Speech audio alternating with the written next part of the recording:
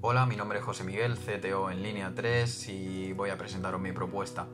Esta está centrada en mejorar la experiencia de usuario, mejorando la sensación del pasajero al saber a dónde se dirige y hacia dónde va, sobre todo poniéndoselo muy sencillo, por eso la he denominado Easy. Además de mejorar el movimiento de las personas y de mejorar esta sensación del pasajero, facilita el trabajo de los agentes ITOLA que ya dejarían de hacer de Google Maps.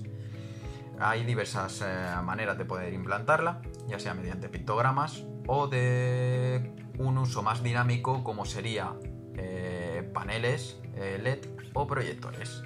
Se ha procedido a realizar una encuesta entre los usuarios. De ella he extraído datos muy relevantes, como más de un 50% de estos consideran que cuando se dirigen a un lugar de metro que no es el habitual para ellos, se sienten perdidos o incluso les cuesta ubicarse un 85% considera que debería o estaría muy bien que hubiera más señalización.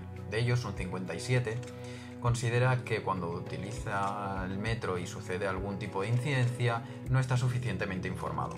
Y toda, absolutamente toda la población considera necesario o interesante que existiera algún tipo de sistema que les informara de este tipo de situaciones y que suceden en ese momento. Tras una visita al nuevo edificio de TED para otro proyecto de innovación, me inspiré en el diseño realizado, ya que allí trabajan con personas con algún tipo de discapacidad. Por eso tienen un diseño muy universal que he decidido seguir.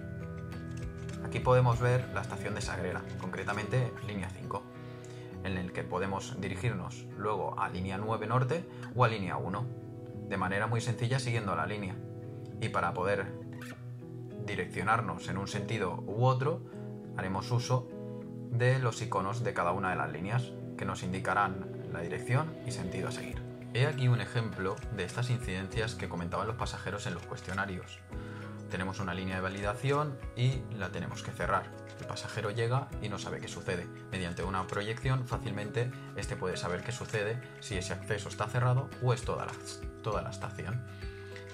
El sistema puede ser totalmente automatizado y muy sencillo. Igual que damos la orden a que cierre toda la línea de validación, puede enviar un mensaje al proyector para que se proyecte el mensaje deseado en este sentido.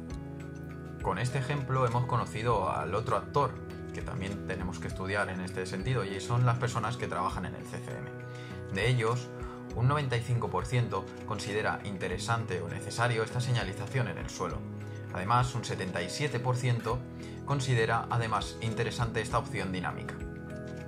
De ellos, finalmente, he extraído las ideas eh, o mensajes más importantes para ello que deberíamos tener.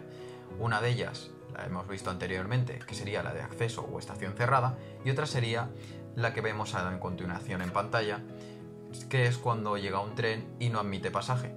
Los beneficios para la empresa se basan básicamente en la mejora de la experiencia de usuario, así como la mejora de la seguridad, evitando tumultos y mejorando la afluencia de pasaje. Por otra parte, evitamos hacer uso de este tipo de pancartas para anunciar eh, según qué incidentes y esto además eh, mejora la imagen. Finalmente, considero que esta idea es factible e interesante de pasar a la siguiente fase ya que es un diseño escalable y que podríamos utilizar una primera vertiente con, de manera más económica que sería la de señalización y después ya entrar en, de manera dinámica si nos parece interesante o está funcionando correctamente. Muchas gracias a todos.